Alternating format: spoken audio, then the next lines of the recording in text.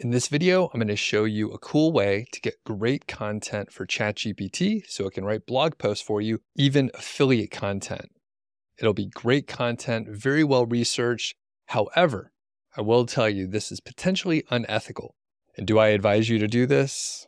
Maybe not, but this is just information and you can do what you want with it. So we're going to use ChatGPT. We're going to use YouTube and some other resources as well. The other thing we're going to use is originality.ai. That is an AI detector. So you could put in text and it'll tell you if there's some likelihood that there is AI content in there. The goal will be to create content that isn't detectable by AI detectors like Originality AI. However, that's a tall order. These tools are getting better and better all the time, but we'll see how it goes and maybe we can do a decent job at it. Now, one thing that I want to point out is Google's stance on AI content, which you could read this document, but basically, Google is okay with AI generated content as long as it's not spammy and is somewhat helpful. And I, I mean, Google is a little hard to trust with their algorithm in general, but if you read this document, they're okay as long as the content is helpful. So, what we're going to do, number one, we're going to hop over to a good YouTube video. I arbitrarily selected this one here from the Wirecutter. That's a great place to get some really in depth research and information. So, this is best pencils for writing and schoolwork. So, all you have to do, you don't even have to watch the video. You can click the three dots right here, go to show transcript, and then you have the whole transcript right here. If you have the timestamps on there, all you have to do is click the three dots here and click, I don't want those timestamps in there. So you select all of the text here and then you just copy it. And we're going to copy it over and we're going to put it into a Google Doc, which I already did. And I just want to do that so that I can get like the total word count here. I'm just curious what the total word count is. So it's 1700 words. So I'm just going to copy this and I'm going to head over to my chat GPT and we're using GPT 3.5 because more people have access to it. I do use GPT plus and I do have access to four, but a lot more people have 3.5. So I'm just going to put in the, I'm going to put in the text here and I'm going to say, Hey, can you, can you write a blog post? All right. And we'll see what we come up with. And while it's writing, because it's going to take a second to write this, I am going to take the same content and we're going to go over to Originality AI, which is a paid tool. I am an affiliate, so I get a commission if you use it, but it's a great tool. And if you're using AI at all, highly recommend that you check out this tool. It's very useful. So I don't care about plagiarism because it's a you know YouTube transcript. So I don't think it's written anywhere verbatim. I'm just going to say detect AI. So this is the pure script. This does not have any you know, AI issues at all. So it says 99% original. So that's good.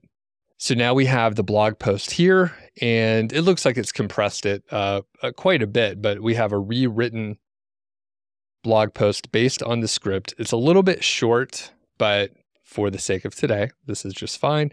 And I'm just curious, we're going to do a new scan. I need to click new scan, and then I'll paste in what ChatGPT has written here, and I'll say scan. We'll see what happens. So now it's saying it's 100% AI. That's not great. And uh, surprisingly enough, I actually did this test earlier and it was uh, much better. It was more like 50%. So let's see if we can rewrite it and maybe get it to be a little bit better. So I'm just going to say rewrite with a casual tone and I'll I'll give it someone specific in a tone maybe Tim Ferriss. So we'll see what we come up with here. Like I said, I don't necessarily recommend that you do this. It is somewhat, I would say, unethical if you don't do any other input or anything like that. So let's say you were doing research and you wanted to check out videos. I think it's a perfectly valid way to do research. Read some blog posts, watch some videos, and then you end up with maybe some unique information and insights based on that. So this looks a little bit longer, which is kind of a good sign. So I'm just going to paste it in here. I'm going to scan it again, see if it's a little bit better. So it's still saying 100% AI. It says it's only 386 words. So that's not great. And let's just try one more time here. And by the way, if you if you have any suggestions in the comments on how to do a better job not being detected by originality AI or other tools, leave a comment and a quick shout out. You can get a cheat sheet. I think probably the most powerful prompt that you can use is a prompt generator. So you could just put in a title and then it gives you a full prompt, which you could use for ChatGPT. You could use it for Bard or anywhere else that you want to try to use it. And I just keep using the same chat bots after I, I train them. So let's hop back over here and let's just try one more time and we'll say, you know, rewrite, we'll say rewrite it in a tone that isn't like AI. So I said write in a tone like Seth Godin and make sure it's not like a an AI writer. I'll also give it very specific guidance like use short punchy sentences.